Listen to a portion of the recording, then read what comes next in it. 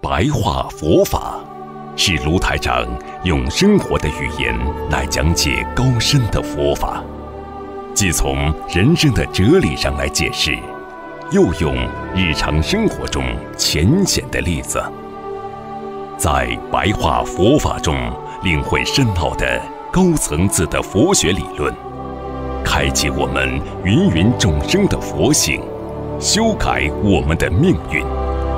请收看卢台长的白话佛法。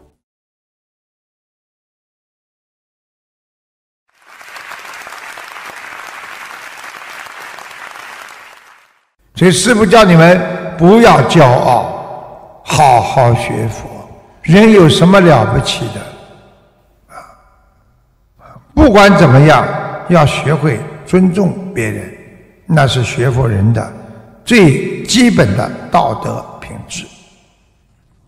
好，最后师父想跟大家讲一个故事，好吧？就是一个挑粪的人，叫尼提。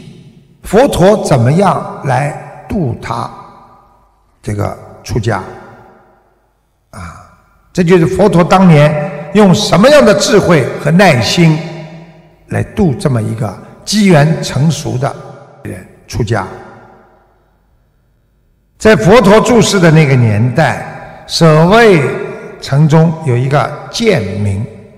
啊，贱民就是不是很高尚的，名叫尼提，名叫尼提，因为他呢种姓卑贱，过去就说你姓什么名字是代表着你的高尚和低下。那么这个人呢，一生呢就帮别人呢做着除粪的工作，养活自己，就是挑大粪。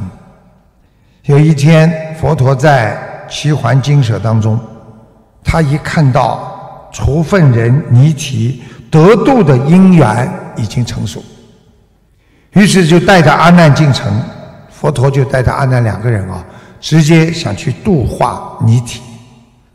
这个泥提呢，这时候呢，正好拿着盛满便尿的瓦罐，准备到城里去倒掉，然后过去呢，用这种粪便子倒到泥土里，啊，挖个坑。倒进去，然后把它再埋掉。过去他们都是这么处理啊，这种粪便的。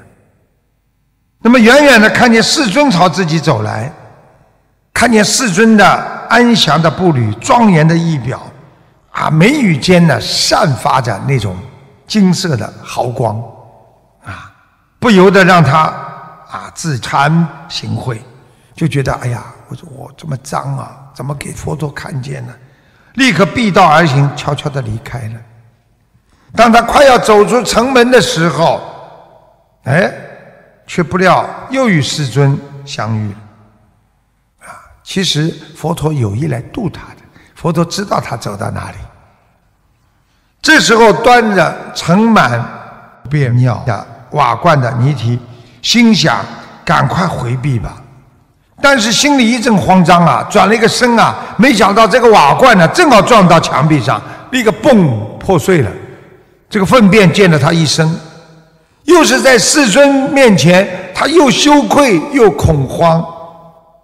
这时候，佛陀走到他面前，慈悲的对他说：“你想不想出家修行啊？”哎呀，从没有过这么温柔的声音。跟我尼提讲话呀，他又感动又紧张的回答：“啊，世尊，你是尊贵的啊，刹帝利种姓出身，您的弟子也都是和您身份相称的贵族，我是一个卑贱的啊奴隶，怎么能和他们一样成为你的弟子呢？”佛陀对尼提说：“佛法的殊胜，就像清净的泉水。”能够洗除一切的污垢，而又好似熊熊的烈焰，无论是巨大还是微小、细致或者粗劣之物，都能焚烧殆尽。佛法的慈悲与平等是广大无边的，无论是贫富贵贱、男女。只要发心想修心的人，都能从佛法获得最究竟的利益。哎呀，佛陀的开示就像黎明的曙光，让尼提感受到前所未有的光明和希望，心中萌生出想要出家的愿心。佛陀就请阿难带着尼提到城外的大河边去沐浴清净。再将他带回了齐桓精舍，先把他带回去。在精舍中，他听闻佛陀开示，尼提呀，心开意解，立刻得证出国。得证出国就是开悟了啦，啊！于是呢，恳切的请求佛陀要出家。他说：“我要出家。”佛陀对尼提说。善来比丘，须发自落，袈裟自着。佛陀这么一讲啊，哎呀，一刹那，这个尼提呀，哎，头发自己掉落了，给他换上件袈裟之后，一下子法相庄严出来了，像个和尚啊。这个时候，佛陀就开示四圣谛。尼提比丘立刻证得四果阿罗汉，无始劫以来的烦恼一时灭尽，证得神通自在。他有神通了啊！你们听下去啊，有神通了。守卫国的人民听到低贱的处分人尼提竟然出家了。那个时候出家都是要非常高贵的身份的，啊，皇亲贵族啊，啊，都是很高贵的。这个时候呢，心里都怀着啊轻蔑的想法，他们也不想了解佛陀为何要度一个奴隶出家修行，于是，在街头巷尾纷纷的议论，很多人说。哎呀，这样低贱的人怎么配受我们的礼拜和供养呢？哎呦，假使尼提进城托钵，我们家都会被他弄脏了。这样的流言蜚语传播的特别快，没想到连国王都知道了这件事情。国王听到这件事情之后，心中一则轻蔑，一则疑惑，于是。乘着宝车，带着奴仆们，到的齐桓精舍，哗啦哗啦哗啦，马车全部到，请佛陀为其解惑。啊，佛陀，你告诉我为什么会这样？一行人马到了精舍门前，稍作休息。这时，尼提比丘正坐在山门外的巨石上缝补衣物。七百个天人周匝围绕在他边上，他们眼睛看得见的。国王看到这个殊胜景象，心中赞叹不已。哎呀，这个比丘怎么这么厉害呀？他怎么有天人在他身边的？走到尼提比丘面前，说道：“和尚正想见佛陀，麻烦尊者为替通报。”就是替我通报一下，他还不知道他是谁啊，他不知道他是尼提啊，国王不知道。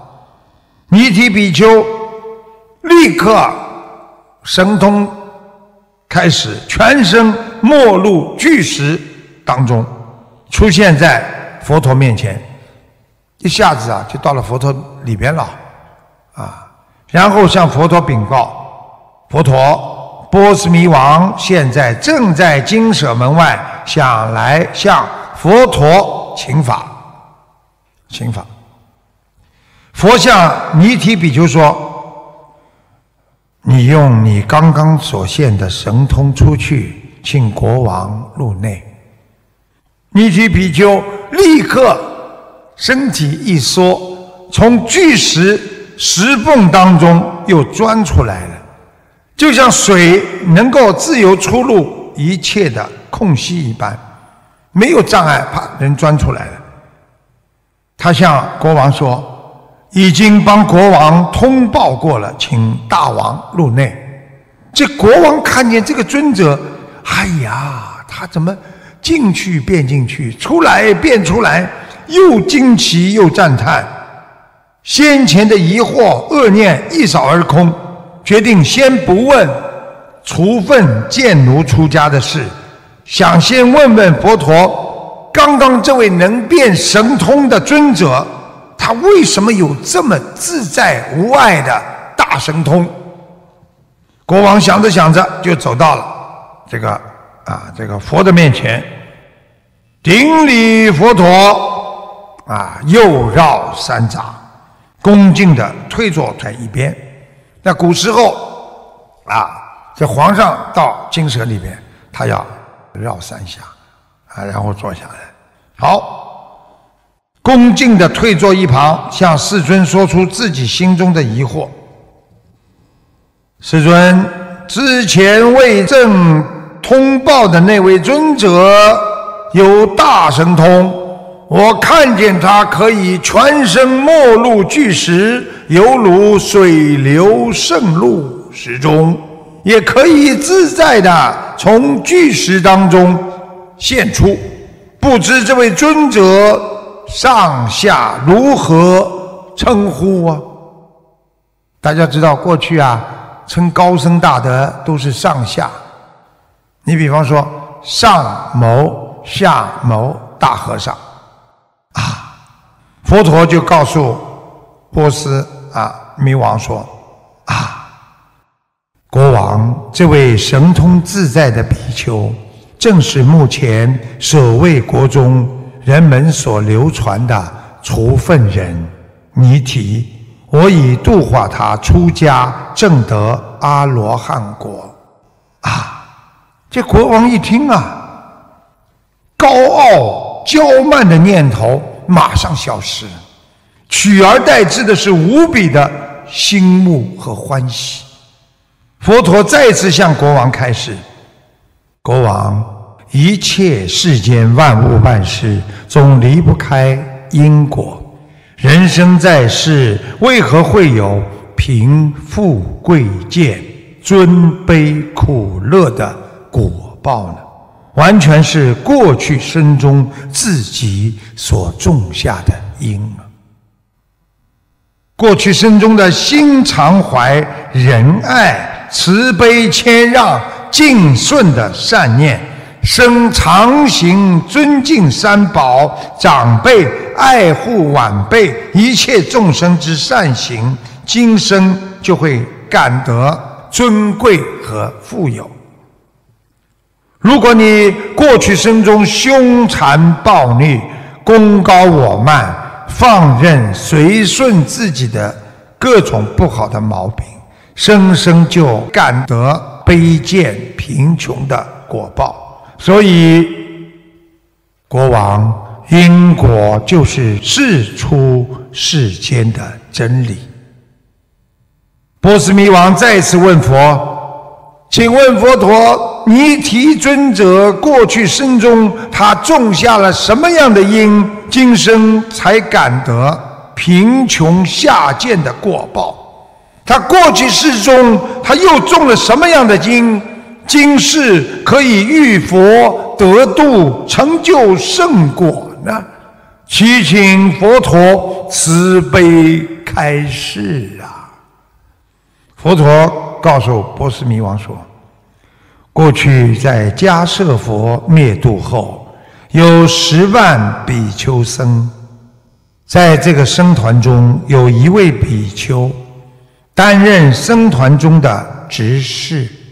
这位比丘因为身体有病，常常腹泻频尿，但他并不外出自家如厕。”而是排泄在经银打造的器皿中，仗着权势，命令他的弟子处理排泄物。因为他在僧团中担任着重要的职事，他就便放任自己高傲自大，身体稍微有一些不舒服，他就懈怠堕落。指使弟子替自己除粪便，然而他所命令的弟子是一位已经证得出果的圣人。因为这个缘故，他在五百世中都身为下贱的人，以替别人除粪来养活自己，一直到了这一辈子，他还是为人除粪的贱民。但是由于他曾经出家，手持戒律，所以这一生因缘成熟。得遇如来，听闻法要，能漏尽烦恼，证阿罗汉果。国王，你知道刚才说的那位驱使圣人除粪的执事人，他是谁吗？他就是尼提比丘的前世波斯弥王听了佛陀的开示，茅塞顿开。法喜充满，高傲之心消失殆尽，赞叹道：“如来出现于世，真是太殊胜难得了！无量无边的众生都可以蒙受法益，离苦得乐。”说完，国王从座而起，走到尼提比丘前，恭敬长跪，顶礼尼提比丘。自诚忏悔先前所造的恶念，这个念头。此时，佛陀见波斯弥王已除掉慢心，更未必说微妙法义。佛陀说：“直向修布施、持戒，乃至希望升天，这些都是生灭的法。”并不究竟，唯有不住相，修一切善法，心无所住着，才是最究竟的大乐！这是在场的大众听到佛陀微妙的开示，皆有所体会，一心闻法精进，依教奉行。这个故事选自《咸鱼经》。啊，卷第六，这个故事就是告诉大家：你今天偷懒，你今天让一些修得很好的人，用你的功高我慢心去指使他，去让他做这个做那个，所以在佛法界里边，法师里边有个规矩的，不能消耗自己的功德，什么事情要自己做。你叫别人做了，你在消耗自己的功德。这就是为什么不要轻易的叫别人付出，你的功德会随之而消失。他就是因为啊，他叫了一个他的弟子去除粪，而且这个弟子已经证得了出国的一个圣人。什么叫圣人？这个人已经不是一个凡人了，这个人很快就能够上天的，啊，所以这个人他没有种上善因，他种了恶因，最后得了恶果，啊，所以我们要怎么样用有限的生命去创造无限的未来？我们每个人要学会自己消自己的业障，不要去造孽，不要随随便便去用别人。用别人越多，你欠别人就越多。自己能做的自己去做，啊，自己不能做的去求别人做，用功德还。所以能做的人一定要好好的爱惜别人，哪怕别人跟你做了，你说一句对不起、谢谢你，你都会消耗福报少很多。所以你看，法师都不愿意别人给他们啊做，因为会损耗他们的功德。就希望我们学佛人每个人都要自己还能做，你不做，你以后年纪大了，对不起，你就老了快。你越不劳动，越不自己付出，你损失的自己福德越快。所以师父希望你们好好的用佛的智慧来改变，来真正的让自己能够懂得怎么样在人间化解烦恼、化解恶缘，怎么样能够让自己在学佛的道路上能够啊正信正念，任何的懒惰、任何的懈怠、任何的烦恼。都是因为我们远离了智慧。如果有智慧，你就会破除一切迷惑、颠倒，修成正果。希望大家好好的修，一定要一世修成。今天给大家的白话佛法就说到这里，谢谢大家。